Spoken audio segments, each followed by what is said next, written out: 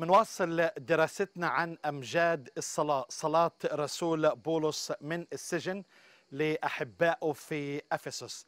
مثل ما ذكرت أنه كانت صلاة حارة للآب. لأن الآب تعبير عن المحبة والألفة والحياة أو العلاقة الشخصية.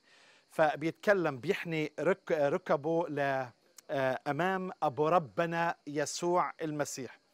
بكلمات أخرى يقول من خلال الصلاة أنه يمكننا أن نقترب منه ويسميه أبو المجد وهو أبو الجميع وهو المثال والنموذج للأبوة الحقيقية وهو أيضا الآب الذي طبعا نسبحه ونمجده ونشكره أيضا.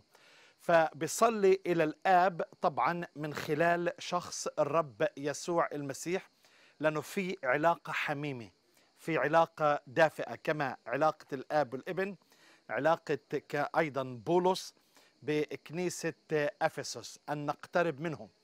وكلما اقتربنا منه نتقدس أيضا ونكون مشابهين صورته. طبعا يمكن شيء غريب ومثير في المكان اللي أنا واقف فيه. كان يعتبر مكان للدعارة كان في فتيات مكرسات للإباحية وهذا جزء من عبادة الآلهة كانت في أفسس.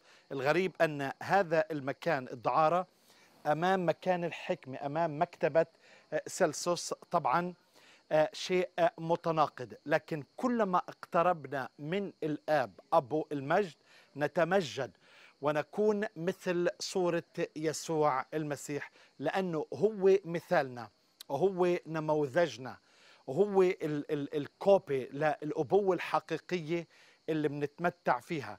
وهذا تعبير جميل جدا علمنا إياه العهد الجديد أن نقترب إلى الله كآب ندعوه كآب وهذا طبعا شيء جميل جدا بتعبر عن الألفة والمحبة والإقتراب منهم.